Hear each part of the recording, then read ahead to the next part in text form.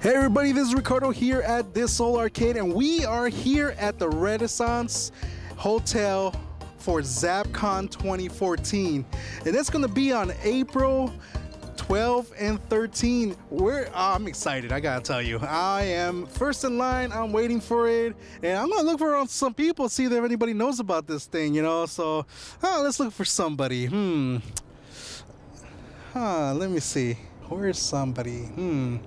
Oh, oh, sir, sir. Uh, yeah. you have a quick second. Uh, sure. Uh, you heard about ZapCon? Uh, what is that? Some kind of new drug? No, no. ZapCon is going to be a convention that's going to be here at the Renaissance, and it's going to be April 12 and 13, and it's going to be arcades, pinball machines, old school.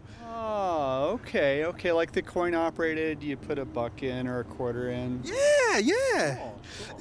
It's gonna be great. You know, all the old school games. You know, because you don't find that stuff anymore. So you gotta go. You gotta go.